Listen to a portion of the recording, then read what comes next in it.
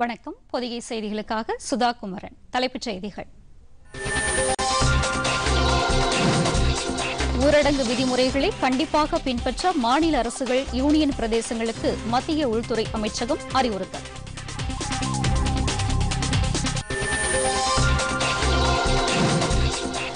ஆறரை லட்சம் கொரோனா பரிசோதனை உபகரணங்களை இந்தியாவுக்கு அனுப்பியது சீனா.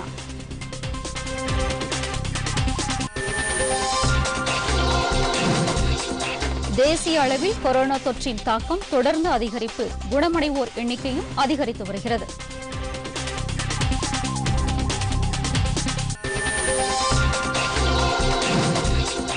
முழு ஊரடங்கு உத்தரவு விதிமுறைகளை தமிழகத்தில் கண்டிப்பாக அமல்படுத்துவது குறித்து மாவட்ட ஆட்சியர்களுடன் முதலமைச்சர் எடப்பாடி பழனிசாமி ஆலோசனை.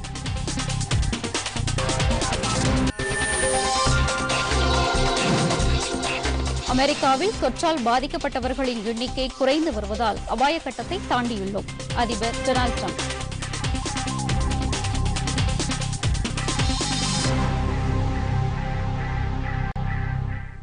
விரிவான செய்திகள்.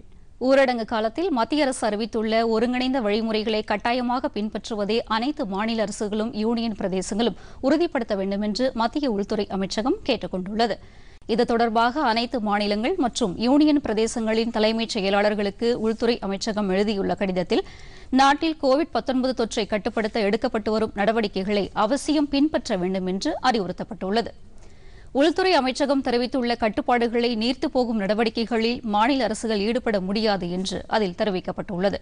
என்றாலும் உள்ளூர் தேவைகளை பொறுத்து இந்த விதிமுறைகள் கட்டுப்பாடுகள் நடைமுறைப்படுத்தப்படுவதை சம்பந்தப்பட்ட மாநில அரசுகள் உறுதி செய்து கொள்ள வேண்டியது கட்டாயம் என்று உள்துறை அமைச்சகம் குறிப்பிட்டுள்ளது. பொதுமக்களின் நலனுக்காக இந்த விதிமுறைகள் அனைத்தும் கோவிட் தடுப்பு களப்பணியில் ஈடுபட்டுள்ள அதிகாரிகளுக்கு அரசின் மூலம் தெரிவிக்கப்படுவதை உறுதிப்படுத்த வேண்டும் என்றும் கேட்டுக் கொள்ளப்பட்டுள்ளது. நாடு முழுவதும் கோவிட் தொற்று பாதிப்பின் அடிப்படையில் பல்வேறு மாவட்டங்களும் மூன்று பிரிவுகளாக பிரிக்கப்பட்டுள்ளன. அந்த வகையில் பாதிப்பு அதிகம் உள்ள நூற்று எழுபது ஹாட்ஸ்பாட் மாவட்டங்கள் மற்றும் ஓரளவு பாதிப்பு உள்ள இருநூற்று ஏழு நான் ஹாட்ஸ்பாட் மாவட்டங்கள் மத்திய அரசால் அடையாளம் காணப்பட்டுள்ளன. ஹாட்ஸ்பாட் மாவட்டங்கள் சிவப்பு மண்டலமாக அறிவிக்கப்பட்டு நூற்று இருபத்தி மூன்று மாவட்டங்களில் மிக அதிக எண்ணிக்கையிலான உயிரிழப்பும் அதற்கு அடுத்தபடியாக நாற்பத்தி ஏழு மாவட்டங்களும் என பிரிக்கப்படுகின்றன. நான் ஹாட்ஸ்பாட் மாவட்டங்கள் ஆரஞ்சு வண்ணத்தில் அடையாளப்படுத்தப்படுகின்றன. தொற்று பாதிப்பு இல்லாத மாவட்டங்கள் பசுமை மண்டலங்களாக அடையாளம் காணப்படுகின்றன. சிவப்பு மண்டல பகுதிகளில் அடங்கிய மாவட்டங்களில் பதினான்கு நாட்களில் புதிதாக தொற்று உறுதிப்படுத்தாத நிலையில் அந்த பகுதி ஆரஞ்சு மண்டலத்திற்கு மாற்றப்படும். இதேபோல் நான் ஹாட்ஸ்பாட் மாவட்டங்களில் பதினான்கு நாட்களில் புதிதாக தொற்று பாதிப்பு உறுதிப்படுத்தப்படவில்லை எனில் அந்த பகுதி பசுமை மண்டலத்திற்கு மாற்றப்படும் என்று சுகாதார அமைச்சகம் தெரிவித்துள்ளது. தமிழகத்தை பொறுத்தவரை சென்னை திருச்சி கோவை ஈரோடு திருநெல்வேலி உள்ளிட்ட இருபத்தி இரண்டு மாவட்டங்கள் ஹாட்ஸ்பாட் மாவட்டங்களாக மத்திய அரசால் அடையாளம் காணப்பட்டுள்ளன. இந்த பகுதிகள் தொடர்பாக விரிவான அறிவுறுத்தல்களை மத்திய சுகாதார அமைச்சகம் மாநிலங்களுக்கு வழங்கியுள்ளது. அனைத்து மாவட்டங்களிலும் கொரோனா தொற்றுக்கு சிகிச்சை அளிக்கக்கூடிய பிரத்யேக மருத்துவமனைகள் சுகாதார மையங்கள் கோவிட் கண்காணிப்பு மையங்களை ஏற்படுத்துமாறு மாநில அரசுகளுக்கு அறிவுறுத்தப்பட்டுள்ளது. சீனாவிலிருந்து இந்தியாவுக்கு ஆறு புள்ளி ஐம்பது லட்சம் ராபிட் டெஸ்ட் கிட் கருவிகள் அனுப்பி வைக்கப்பட்டுள்ளதாக சீனாவுக்கான இந்திய தூதர் விக்ரம் மிஸ்ரி தெரிவித்துள்ளார். கொரோனா தொற்றால் பாதிக்கப்பட்டுள்ளவர்களுக்கு உடனடியாக பரிசோதனை செய்வதற்காக ராபிட் டெஸ்ட் கிட் கருவிகளை சீனாவிலிருந்து இந்தியாவிற்கு வரவழைக்க உள்ளது. இதன்படி மொத்தம் ஆறரை லட்சம் ராபிட் டெஸ்ட் கிட் கருவிகளை சீனா இன்று காலை இந்தியாவுக்கு அனுப்பியிருப்பதாக இந்திய தூதர் விக்ரம் மிஸ்ரி தெரிவித்துள்ளார். சீனாவில் குவாங்சோ விமான நிலையத்திலிருந்து இந்த கருவிகள் விமானம் மூலம் அனுப்பப்பட்டுள்ளதாகவும் இன்று மாலைக்குள் இந்தியாவுக்கு வந்து சேரும் என்றும் அவர் குறிப்பிட்டுள்ளார். இந்த ரேபிட் டெஸ்ட் கிட் கருவிகள் வந்து சேர்ந்ததும் அவை மாநிலங்களுக்கு பிரித்து அனுப்பப்படும் என்று வெளியுறவு அமைச்சக வட்டாரங்கள் தெரிவித்துள்ளன. நாடு முழுவதும் கொரோனாவால் பாதிக்கப்பட்டவர்களின் எண்ணிக்கை பனிரெண்டாயிரத்து முன்னூற்று எண்பதாக அதிகரித்துள்ளது. இவர்களில் ஆயிரத்து நானூற்று எண்பத்தி எட்டு பேர் குணமடைந்து வீடு திரும்பியுள்ளனர். நானூற்று பதினான்கு பேர் உயிரிழந்துள்ளனர். உலகம் முழுவதும் பேரழிவை ஏற்படுத்தியுள்ள கொரோனா தொற்றால் இந்தியாவில் பாதிக்கப்பட்டோரின் எண்ணிக்கை பனிரெண்டாயிரத்து முன்னூற்று எண்பதாக உயர்ந்துள்ளது. தற்போது பத்தாயிரத்து நானூற்று எழுபத்தி ஏழு பேர் சிகிச்சை பெற்று வரும் நிலையில் ஆயிரத்து நானூற்று எண்பத்தி எட்டு பேர் குணமடைந்து வீடு திரும்பியுள்ளனர். நானூற்று பதினான்கு பேர் உயிரிழந்துள்ளதாக மத்திய சுகாதாரத்துறை அமைச்சகம் தெரிவித்துள்ளது. நாட்டிலேயே அதிகபட்சமாக மகாராஷ்டிராவில் இரண்டாயிரத்து தொள்ளாயிரத்து பதினாறு பேர் இந்த தொற்றால் பாதிக்கப்பட்டுள்ளனர். அந்த மாநிலத்தில் நூற்று எண்பத்தி ஏழு பேர் உயிரிழந்துள்ளனர்.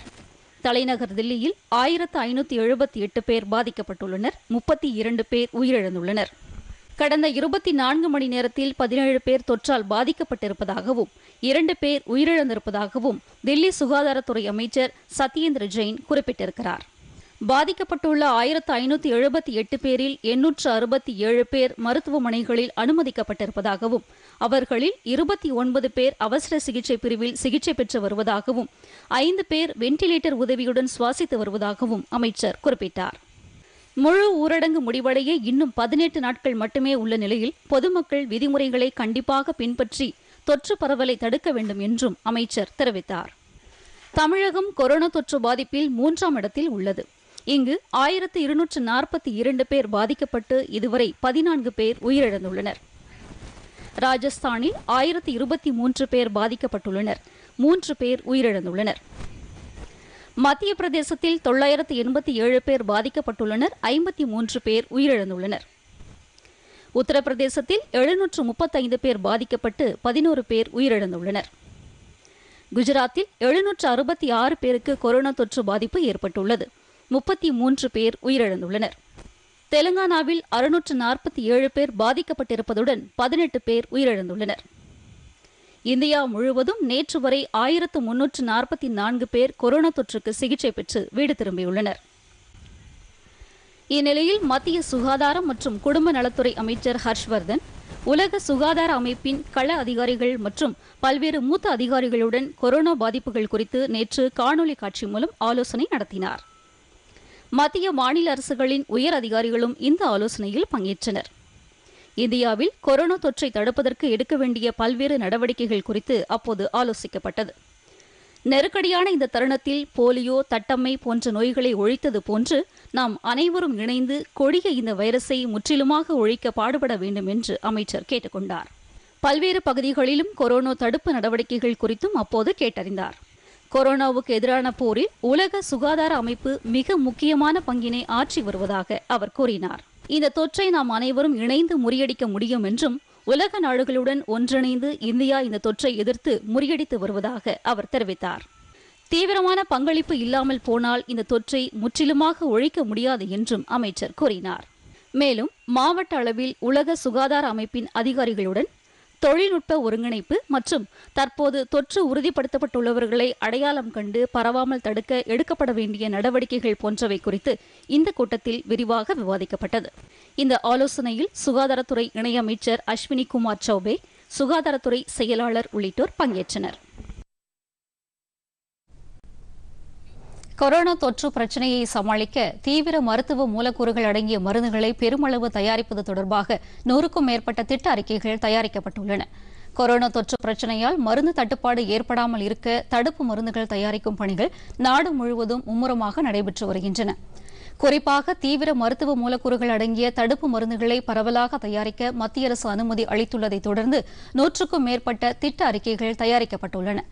கடந்த இரண்டு வாரங்களில் இதுபோன்ற நூற்றுக்கும் மேற்பட்ட திட்ட அறிக்கைகள் கிடைக்கப்பெற்றிருப்பதாகவும் இவைகளுக்கு அனுமதி கிடைக்கும் நடைமுறைகள் காணொலி காட்சி மூலம் மேற்கொள்ள அறிவுறுத்தப்பட்டிருப்பதாகவும் மத்திய சுற்றுச்சூழல் அமைச்சகம் தெரிவித்துள்ளது. இந்த திட்ட அறிக்கைகளுக்கு உடனடியாக அனுமதி கிடைக்க விதிமுறைகள் தளர்த்தப்பட்டுள்ளதாகவும் சம்பந்தப்பட்ட மாநில அரசுகளுக்கு அந்தந்த மாநில அளவிலேயே சுற்றுச்சூழல் அனுமதி கிடைக்கப்பெறும் என்றும் சுற்றுச்சூழல் அமைச்சக வட்டாரங்கள் தெரிவித்துள்ளன. கொரோனாவை தடுக்க அனைவரும் இணைந்து செயல்படுவோம் என்று காங்கிரஸ் கட்சியின் முன்னாள் தலைவர் ராகுல் காந்தி தெரிவித்துள்ளார். தில்லியிலிருந்து காணொலி மூலம் செய்தி வெளியிட்டுள்ள அவர் கொரோனா பரவலை தடுக்க அதிக அளவிற்கு பரிசோதனைகள் மேற்கொள்ளப்பட வேண்டும் என்றும் கொரோனாவை தடுக்க அனைவரும் இணைந்து செயல்பட வேண்டியது அவசியம் என்றும் வலியுறுத்தியுள்ளார். கொரோனா பாதிப்பு அதிகம் உள்ள மாநிலங்களில் பரிசோதனைகளை அதிக அளவிற்கு மேற்கொள்ள நடவடிக்கைகள் எடுக்க வேண்டும் என்றும் பாதிப்பு அதிகமாக உள்ள இடங்களை கண்டறிந்து பரிசோதனைகளை விரைவுபடுத்தப்பட வேண்டும் என்றும் ராகுல் காந்தி கேட்டுக் கொண்டுள்ளார்.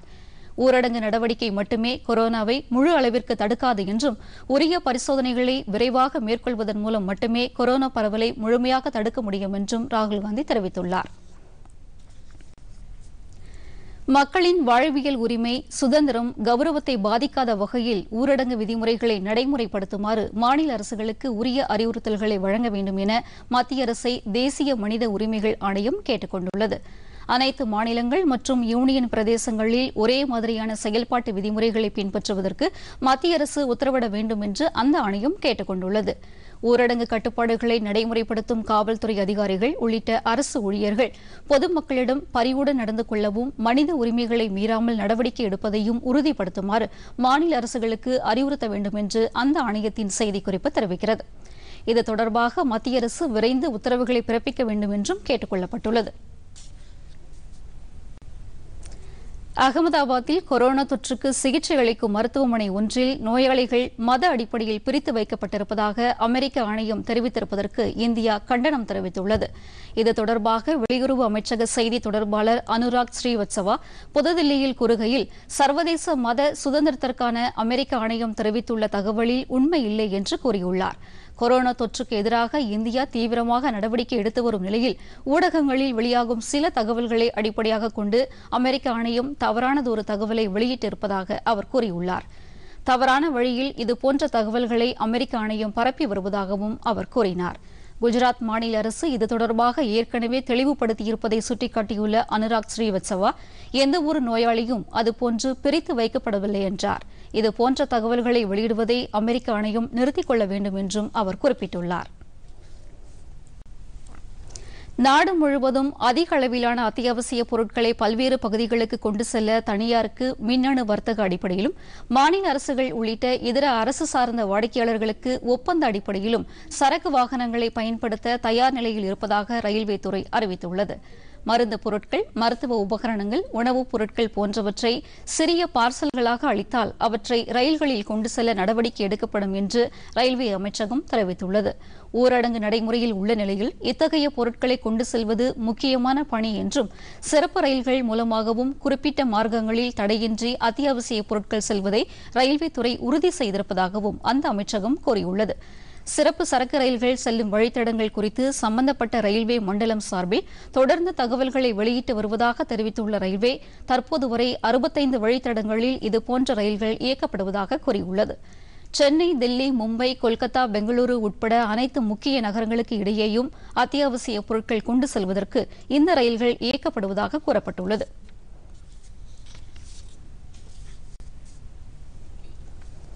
நாடு முழுவதும் கொரோனா தொற்றால் எழுந்துள்ள சுகாதார அடிப்படையிலான சவால்களை கையாள்வதற்கும் சமூக பொருளாதார அழுத்தம் மற்றும் வாழ்வாதார சவால்களை எதிர்கொள்வதற்கு ஏதுவாக ஒருங்கிணைந்த இந்திய வரைபட அமைப்பு மற்றும் சிறப்பு செயலியை மத்திய அறிவியல் மற்றும் தொழில்நுட்ப அமைச்சகம் உருவாக்கியுள்ளது.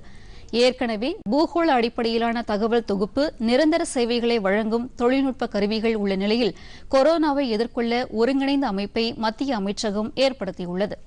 இதன் மூலம் கொரோனா தொடர்பான தகவல்கள் மத்திய மாநில அரசுகளுக்கு இடையே சுகாதாரம் தொடர்பான நடைமுறைகள் பரிமாறுவது மேலும் வலுப்படுத்தப்படும்.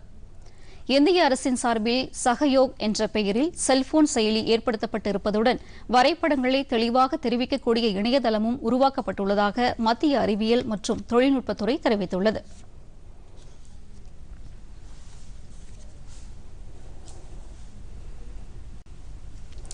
சத்தீஸ்கரில் பிஜப்பூர் மாவட்டத்தில் காவலர் ஒருவர் நக்சல் தீவிரவாதிகள் என்று சந்தேகிக்கப்படுபவர்களால் கொல்லப்பட்டுள்ளார். அம்மாவட்டத்தில் ஃபர்சேகர் கிராமத்தில் காவல் நிலையத்தில் பணியில் ஈடுபட்டிருந்த ரமேஷ் குர்சம் என்ற காவலர் கடந்த செவ்வாய்க்கிழமை முதல் காணவில்லை. அவரை தேடும் பணி முடுக்கிவிடப்பட்டிருந்த நிலையில் உயிரிழந்த காவலரின் உடல் கிராமத்திற்கு வெளியே கண்டெடுக்கப்பட்டுள்ளதாக அதிகாரிகள் கூறியுள்ளனர். அப்பகுதியில் நக்சல் தீவிரவாதிகளின் நடமாட்டம் அதிகம் உள்ள நிலையில் உடல் கண்டறியப்பட்ட இடத்தில் கொலைக்கு பொறுப்பேற்று தீவிரவாதிகள் எழுதியிருந்த கடிதம் ஒன்று கண்டறியப்பட்டுள்ளது. இதுகுறித்து விசாரணை நடைபெற்று வருகிறது.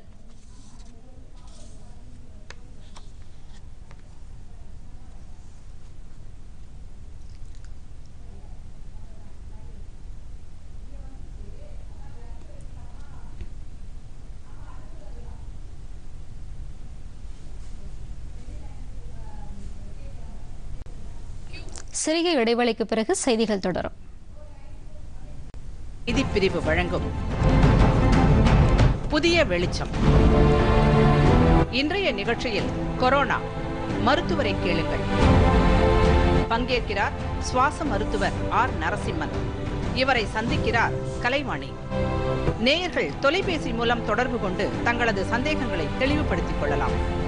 இன்று மாலை ஏழு முப்பது மணிக்கு நமது புதிகையில் புதிய வெளிச்சம் காணத் தவறாதீர்கள்.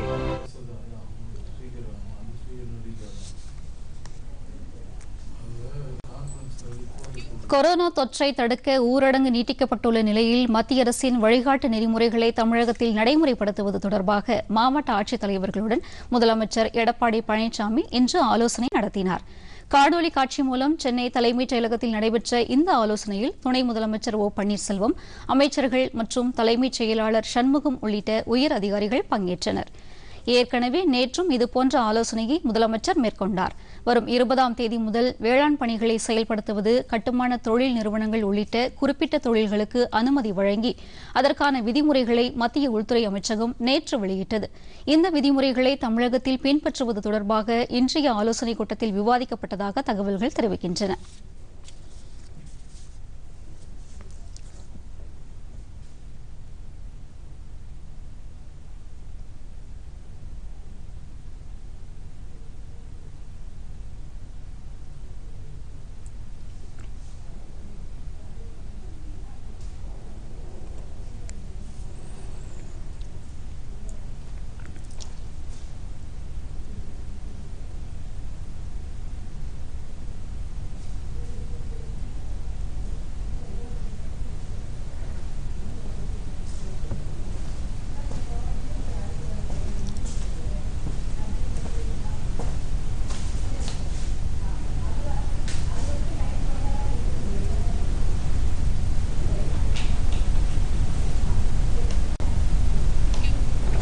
ஊரடங்கு உத்தரவால் பாதிக்கப்பட்டவர்களுக்கு நிவாரணப் பொருட்களை வழங்க அரசியல் கட்சிகள் மற்றும் தன்னார்வலர்களுக்கு சென்னை உயர்நீதிமன்றம் நிபந்தனைகளுடன் அனுமதி வழங்கியுள்ளது. ஊரடங்கு உத்தரவால் பாதிக்கப்பட்டவர்களுக்கு நிவாரணப் பொருட்கள் வழங்கும் தன்னார்வலர்கள் அரச நிர்வாகத்துடன் இணைந்து வழங்க தமிழக அரசு கட்டுப்பாடுகளை விதித்துள்ளது. கொரோனா தொற்று சமூக பரவலாக மாறுவதை தடுக்கவே இந்த கட்டுப்பாடுகள் என்றும் தமிழக அரசு விளக்கம் அளித்துள்ளது இருப்பினும் அரசின் இந்த உத்தரவை எதிர்த்து திமுக உள்ளிட்ட கட்சிகள் சார்பில் சென்னை உயர்நீதிமன்றத்தில் வழக்கு தொடரப்பட்டன. இந்த மனுக்கள் மீது இன்று தீர்ப்பளித்த சென்னை உயர்நீதிமன்றம் அரசியல் கட்சிகள் மற்றும் தன்னார்வலர்கள் பொதுமக்களுக்கு நிவாரணப் பொருட்கள் வழங்க நிபந்தனைகளுடன் கூடிய அனுமதி வழங்க உத்தரவிட்டுள்ளது. இதன்படி நிவாரண உதவிகள் வழங்க மூன்று பேர் மட்டுமே செல்ல வேண்டும்.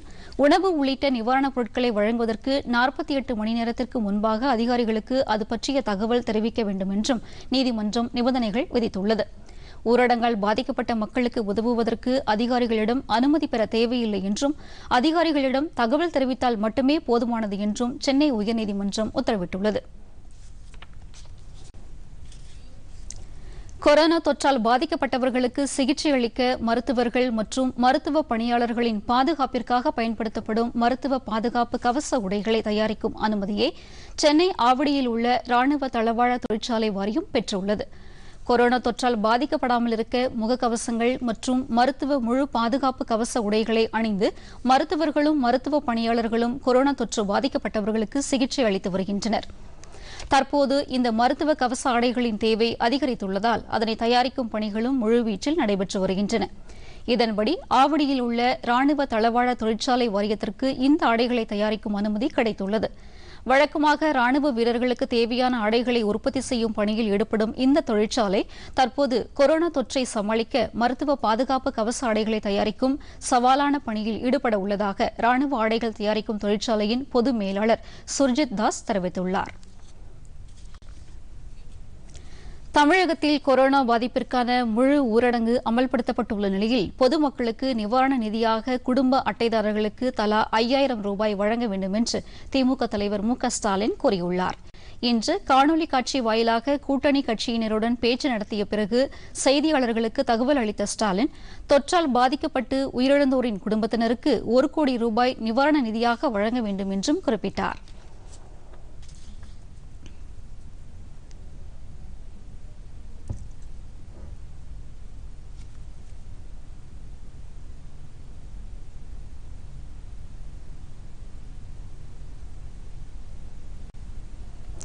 திருச்சி அரசு தலைமை மருத்துவமனையில் கொரோனா தொற்றால் சிகிச்சை பெற்று வந்த முப்பத்தி இரண்டு பேர் குணமடைந்து இன்று வீடு திரும்பினர். மருத்துவமனையிலிருந்து அவர்களை வழியனுப்பி வைத்த மருத்துவர்கள் மற்றும் செவிலியர்கள் வீட்டில் இருக்கும்போது அவர்கள் பின்பற்ற வேண்டிய பாதுகாப்பு வழிமுறைகள் குறித்தும் எடுத்துக்கொள்ள வேண்டிய உணவு முறைகள் குறித்தும் அறிவுரை வழங்கினர். அம்மருத்துவமனையில் நாற்பத்தி மூன்று பேர் கொரோனா தொற்று உறுதி செய்யப்பட்டு சிகிச்சை பெற்று வந்தனர். இவர்களுள் திருச்சியை சேர்ந்த இருபத்தி ஒன்பது பேரும் கரூர் அரியலூர் பெரம்பலூர் மாவட்டங்களைச் சேர்ந்த தலா ஒருவரும் குணமடைந்து இன்று வீடு திரும்பினர். மாவட்ட ஆட்சியர் சிவராசு பழத்தட்டுகளை வழங்கி குணமடைந்தவர்களை வழியனுப்பி வைத்தார். கொரோனா தொற்றிலிருந்து குணமடைந்து வீடு திரும்பும் அனைவரும் பதினான்கு நாட்கள் தங்களை தனிமைப்படுத்திக் கொண்டு உரிய சுகாதார முறைகளை பின்பற்ற வேண்டும் என மருத்துவர்கள் அறிவுரை வழங்கியுள்ளதாக அவர் கூறினார். குணமடைந்தவர்களுள் அறுபத்தி ஏழு வயது முதியவரும் ஒருவர் என அவர் தெரிவித்தார்.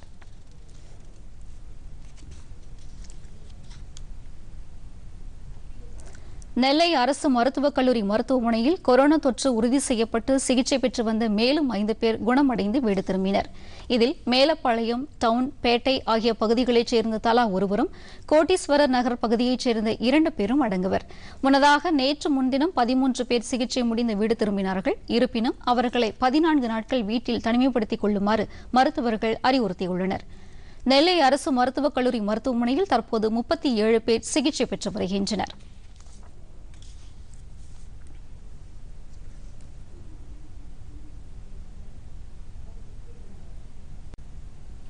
தமிழக ஆளுநர் பன்வாரிலால் புரோஹித்தின் பிறந்த நாளையொட்டி முதலமைச்சர் எடப்பாடி பழனிசாமி வாழ்த்து தெரிவித்துள்ளார்.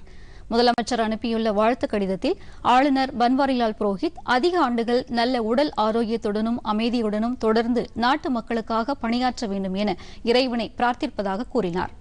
தமது உளமார்ந்த பிறந்தநாள் நல்வாழ்த்துக்களை இந்த மகிழ்ச்சிகரமான நேரத்தில் தெரிவித்துக் கொள்வதாக அவர் கூறியுள்ளார். தமிழக முதலமைச்சர் தெரிவித்த பிறந்தநாள் வாழ்த்திற்காக ஆளுநர் நன்றி தெரிவித்துக் கொண்டுள்ளாா்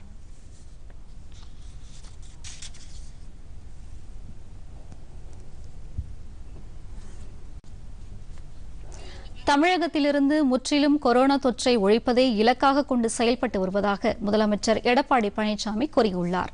தற்போது செய்தியாளர்களை சந்தித்து வரும் அவர் கொரோனா தொற்று பரவுவது தமிழகத்தில் குறைந்துள்ளதாக கூறினார். சில எதிர்கட்சி தலைவர்கள் விமர்சனம் செய்கின்றார். என்ன என்றால் இவர்கள் இப்பொழுதுதான் வெண்டிலேட்டர் வாங்குவதற்கு முயற்சி செய்கின்றார் இப்பொழுதுதான் பிசிஆர் தொகுப்பு வாங்குவதற்கு முயற்சி செய்கின்றார் அதே போல மாஸ்க் வாங்குறதுக்கு இப்போதான் நடவடிக்கை எடுக்கிறாங்க. அது தவறு. ஏற்கனவே அரசிடம் போதுமான அளவு இருக்கின்றது. இந்த நோய் ஆரம்பம் வந்த உடனேயே முன்னெச்சரிக்கையாக நமக்கு தேவையானவை வாங்கி கையிருப்பு வைக்கப்பட்டு விட்டது. நான் ஏற்கனவே சொன்ன மாதிரி வெண்டிலேட்டரும் ஏற்கனவே நமக்கு தேவையான அளவு இருக்குது. மாஸ்க் தேவையான அளவு இருக்குது. ஈசிஆர் கிட்ஸ் இருக்குது. அனைத்தும் தேவையான அளவு இருக்கின்றது. ஒருவேளை வெளிநாட்டில் இன்றைக்கு வளர்ந்து வந்த நாடுகளில் ஏற்பட்ட அந்த நோய்கள் அதனால் ஏற்பட்ட உயிரிழப்பு நம்முடைய மாநிலத்தில் இருக்கக்கூடாது என்பதற்காகத்தான் முன்னெச்சரிக்கையாக இதையெல்லாம் வாங்கலாம் என்று மருத்துவ குழு பரிந்துரையின் அடிப்படையிலே முன்னெச்சரிக்கையாக இதை வாங்குவதற்கு அரசு நடவடிக்கை எடுக்கப்படும் என்பதை இந்த நேரத்தில் தெரிவிக்கின்றேன். அது மட்டும் ஊரடங்கு உத்தரவு காரணமாக கேரளாவில் நடுக்கடலில் சிக்கி தவித்த நாகை மீனவர்கள் இன்று கடல் மார்க்கமாக நாகை துறைமுகம் வந்தடைந்தனர். அவர்களுக்கு கொரோனா தொற்று இருக்கிறதா என பரிசோதனை செய்த மருத்துவர்கள் தொடர்ந்து அவர்கள் வீடுகளில் தனிமையில் இருக்க உத்தரவிட்டனர். நாகை மாவட்ட மீனவர்கள் சுமார் ஐம்பது பேர் கேரள மாநிலம் கொச்சியில் தங்கள் படகுகளில் சென்று அங்கேயே தங்கியிருந்து மீன்பிடி தொழிலில் ஈடுபட்டு வந்தனர். ஊரடங்கு உத்தரவு பிறப்பிக்கப்பட்ட போது இந்த மீனவர்கள் தங்கள் படகுகளில் கடலில் மீன்பிடித்துக் கொண்டிருந்தனர். அவர்கள் கரைக்கு வர கேரள அரசு அனுமதிக்கவில்லை. இதனையடுத்து படகு மூலம் கடல் மார்க்கமாக நாகை திரும்பினர். அங்கு அவர்களுக்கு தமிழக அரசின் மருத்துவ குழுவினர் கொரோனா தொற்று குறித்து பரிசோதனை நடத்தினர். ஐம்பது மீனவர்களுக்கும் தொற்றுக்கான அறிகுறி ஏதும் தென்படவில்லை என்பதால் அவர்களை வீட்டுக்கு அனுப்பி வைத்த மருத்துவ குழுவினர் இருபத்தி எட்டு நாட்கள் தனிமையில் இருக்குமாறு அறிவுறுத்தினர். உலகம் முழுவதும் இருநூறுக்கும் மேற்பட்ட நாடுகளில் கொரோனாவால் பாதிக்கப்பட்டவர்களின் எண்ணிக்கை இருபது லட்சத்தை தாண்டியுள்ளது. சுமார் ஐந்து லட்சத்திற்கும் அதிகமானோர் இந்த தொற்றிலிருந்து குணமடைந்து வீடு திரும்பியுள்ள நிலையில் ஒரு லட்சத்து முப்பத்தி நான்காயிரம் பேர் உயிரிழந்துள்ளனர். உலக அளவில் கொரோனா தொற்றால் பாதிக்கப்பட்டவர்களின் எண்ணிக்கை இருபது லட்சத்து எண்பத்து நான்காயிரத்தை தாண்டியுள்ளது. இவர்களுள் ஒரு லட்சத்து முப்பத்தி நான்காயிரம் பேர் உயிரிழந்துள்ள நிலையில் ஐந்து லட்சத்து பதினைந்தாயிரம் பேர் குணமடைந்துள்ளனர். அதிகபட்சமாக அமெரிக்காவில் இருபத்தி எட்டாயிரத்து ஐநூற்று ஐம்பது பேர் உயிரிழந்துள்ளனர். ஆறு லட்சத்து நாற்பத்து நான்காயிரம் பேர் இத்தொற்றால் பாதிக்கப்பட்டுள்ளனர்.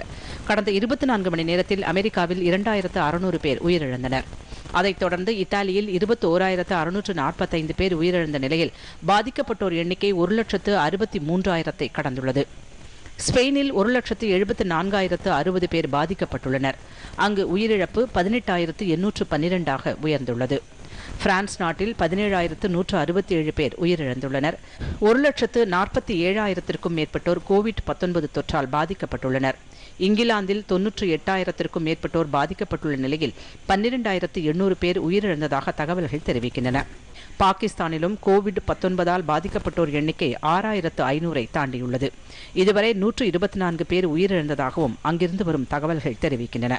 இதற்கிடையே ஜெர்மனியில் நோய் தொற்று குறைந்து வருவதை அடுத்து ஊரடங்கு விதிகளை படிப்படியாக தளர்த்தும் நடவடிக்கைகளில் அந்நாட்டு அரசு ஈடுபட்டு வருகிறது. அடுத்த வாரம் சிறிய அளவிலான வர்த்தக நிறுவனங்களையும் அடுத்த மாதம் முதல் வாரத்தில் பள்ளிகளையும் திறக்கவும் ஜெர்மனி அரசு முடிவு செய்துள்ளது. அந்நாட்டில் மூவாயிரத்து எண்ணூறு பேர் உயிரிழந்து ஒரு லட்சத்து முப்பத்து நான்காயிரம் பேர் பாதிக்கப்பட்டுள்ளனர். இவர்களுள் எழுபத்தி ஏழாயிரம் பேர் குணமடைந்துள்ளனர். தற்போது ஐம்பத்து மூன்றாயிரத்து தொள்ளாயிரத்து நாற்பத்தி ஒன்பது பேர் சிகிச்சை பெற்று வருகின்றனர். இலங்கையில் கோவிட் பத்தொன்பது தொற்றால் இருநூற்று முப்பத்தைந்து பேர் இதுவரை பாதிக்கப்பட்டு அறுபத்தி மூன்று பேர் குணமடைந்துள்ளனர். ஏழு பேர் உயிரிழந்துள்ளனர். மாலத்தீவு தலைநகர் மாலேயில் முதல் கோவிட் பத்தொன்பது நோயாளி கண்டறியப்பட்ட நிலையில் மக்கள் வீடுகளிலேயே இருக்குமாறு அதிபர் இப்ராஹிம் முகமது சாலிஹ் கேட்டுக்கொண்டுள்ளார். அமெரிக்காவில் கொரோனா தொற்றால் புதிதாக பாதிக்கப்படுபவர்களின் எண்ணிக்கை குறைந்து வருவதால் இந்த தொற்றின் உச்சத்தை கடந்து அபாய கட்டத்தை தாண்டி இருப்பதாக அதிபர் டொனால்டு ட்ரம்ப் தெரிவித்துள்ளார். அந்நாட்டில் ஆறு லட்சத்து முப்பத்தி ஏழாயிரம் பேருக்கு கொரோனா தொற்று கண்டறியப்பட்டுள்ளது. இவர்களுள் முப்பதாயிரத்திற்கும் மேற்பட்டோர் உயிரிழந்துள்ளனர். இதுகுறித்து வாஷிங்டனில் உள்ள வெள்ளை மாளிகையில் செய்தியாளர்களிடம் பேசிய டொனால்டு ட்ரம்ப் கொரோனாவிற்கு எதிரான நடவடிக்கைகள் தொடரும் அதே வேளையில் புதிதாக இத்தொற்றால் பாதிக்கப்பட்டவர்களின் எண்ணிக்கை நாளுக்கு நாள் குறைந்து வருவதாகவும் தொடர்ந்து நிலைமை சீரடையும் என்று தாம் நம்புவதாகவும் கூறினார். இதனையடுத்து மாகாணங்களின் ஆளுநர்களுடன் கலந்து ஆலோசித்து ஊரடங்கு நிலையை படிப்படியாக தளர்த்துவது குறித்து புதிய விதிமுறைகளை அறிவிக்க உள்ளதாக அவர் கூறினார். மே ஒன்றாம் தேதி அந்நாட்டில் பொருளாதார நடவடிக்கைகளை மீண்டும் தொடங்க திட்டமிட்டிருந்த நிலையில் அதற்கு முன்னதாகவே சில மாகாணங்களில் பொருளாதார நடவடிக்கைகளை தொடங்க வாய்ப்பு ஏற்பட்டுள்ளதாக அவர் கூறினார். உயிரிழப்பு குறித்தும் பாதிக்கப்பட்டுள்ளவர்கள் குறித்தும் சில நாடுகள் வெளியிட்டுள்ள புள்ளி விவரங்கள் மீது ட்ரம்ப் சந்தேகம் எழுப்பினார். ஆப்பிரிக்காவிலும் கொரோனா தொற்று பரவுவதற்கு வாய்ப்பு உள்ளதால் அந்நாடுகள் தடுப்பு நடவடிக்கைகளை தீவிரமாக மேற்கொள்ள வேண்டும் என ஐநா பொதுச் செயலாளர் அன்டோனியா குட்ரஸ் கேட்டுக் கொண்டுள்ளாா் ஐநாவிற்கான ஆப்பிரிக்க நாடுகளின் தூதர்களுடன் காணொலி காட்சி வாயிலாக கலந்துரையாடிய அன்டோனியா குட்ரஸ் தற்போது ஆப்பிரிக்க நாடுகளில் கொரோனா தொற்று மற்ற நாடுகளுடன் ஒப்பிடுகையில் குறைவாக உள்ளபோதிலும் அங்கு இந்த தொற்று மிகப்பெரிய அளவில் பரவுவதற்கு வாய்ப்பு உள்ளதாக கூறினார். இதனை தடுக்க ஆப்பிரிக்க நாடுகள் போக்குவரத்தை கட்டுப்படுத்த வேண்டும் என்றும் தொற்று ஏற்பட்டால் அதனை சமாளிக்கும் வகையில் பொருளாதாரத்தை வலுப்படுத்த வேண்டும் என்றும் அவர் கேட்டுக்கொண்டார். கொரோனா தொற்றை தடுக்க இந்தியா எடுத்து வரும் ஆக்கப்பூர்வமான நடவடிக்கைகளுக்கு சர்வதேச செலாவணி நிதியம் பாராட்டு தெரிவித்துள்ளது. இதுகுறித்து வாஷிங்டனில் செய்தியாளர்களிடம் பேசிய அந்த அமைப்பின் ஆசிய மற்றும் பசிபிக் பிராந்திய இயக்குநர் சாங் யோங் ஹி நடப்பாண்டில் இந்தியாவின் வளர்ச்சி விகிதம் ஒன்று புள்ளி ஒன்பது சதவீதமாக இருக்கும் என்று தெரிவித்துள்ளார். ஏற்கனவே மிக பெரும் கடன் தொல்லையால் தவித்து வந்த இந்தியா தற்போது இந்த தொற்று பாதிப்பு காரணமாக ஏற்பட்டுள்ள பொருளாதார சரிவிலிருந்து மீளுவது கடினமான பணியாக இருக்கும் என்று அவர் குறிப்பிட்டுள்ளார். கடுமையான பொருளாதார நெருக்கடி ஏற்பட்டுள்ள நிலையிலும் நாட்டு மக்களின் நலன் கருதி நாடு தழுவிய ஊரடங்கை இந்தியா அமல்படுத்தியுள்ளது என்றும் அதற்கு சர்வதேச செலாவணி நிதியம் பாராட்டு தெரிவித்துள்ளதாகவும் அவர் கூறினார்.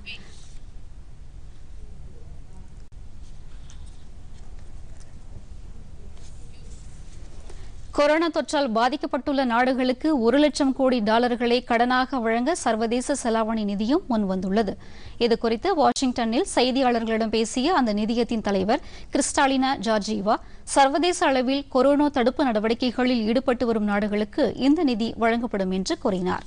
கொரோனா தொற்றால் மிக மோசமான பாதிப்புகளை நாம் சந்தித்து வருகிறோம் என்றும் உலக அளவில் உள்நாட்டு உற்பத்தி விகிதம் மூன்று சதவீத அளவை எட்டும் என்ற நிலையில் நூற்று எழுபது நாடுகளில் சராசரி வருவாய் மிக குறைந்த அளவை எட்டும் என்றும் அவர் கூறினார்.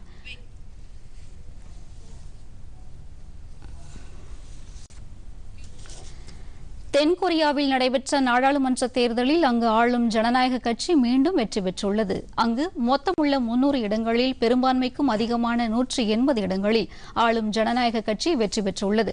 கொரோனா தொற்று பாதிப்பால் தனிநபர் இடைவெளியை பின்பற்றியும் காய்ச்சல் உள்ளவர்களுக்கு தனி வாக்குச்சாவடி அமைத்தும் தேர்தல் நடைபெற்றது. இதில் லட்சக்கணக்கானோர் வாக்களித்தனர். தேர்தல் முடிவுகளை தலைநகர் சியோலில் தேர்தல் அதிகாரிகள் உறுதிப்படுத்தினர். வாக்கு எண்ணிக்கை ஏறக்குறைய முடிவடைந்துவிட்ட நிலையில் ஆளும் கட்சி மீண்டும் ஆட்சி அமைப்பது உறுதியாகியுள்ளது. கன்சர்வேட்டிவ் கட்சி மிக மோசமான தோல்வியை சந்தித்துள்ளது.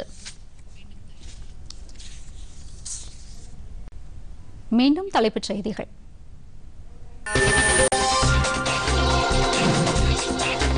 ஊரடங்கு விதிமுறைகளை கண்டிப்பாக பின்பற்ற மாநில அரசுகள் யூனியன் பிரதேசங்களுக்கு மத்திய உள்துறை அமைச்சகம் அறிவுறுத்தல்.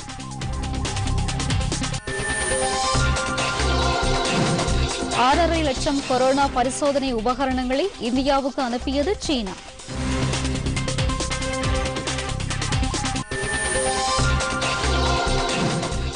தேசிய அளவில் கொரோனா தொற்றின் தாக்கம் தொடர்ந்து அதிகரிப்பு. குணமடைவோர் எண்ணிக்கையும் அதிகரித்து வருகிறது.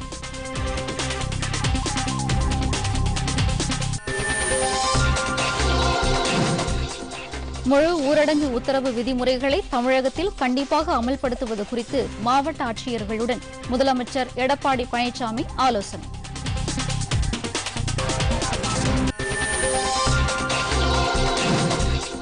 அமெரிக்காவில் தொற்றால் பாதிக்கப்பட்டவர்களின் எண்ணிக்கை குறைந்து வருவதால் அபாய கட்டத்தை தாண்டியுள்ளோம் அதிபர் டொனால்டு டிரம்ப்.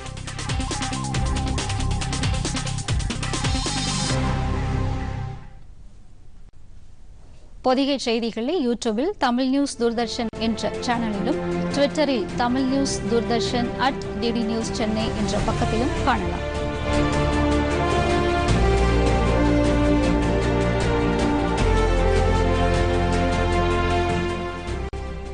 இத்துடன் இந்த செய்தியறிக்கை நிறைவடைகின்றன. மீண்டும் செய்திகள் மாலை ஐந்து மணிக்கு. வணக்கம்.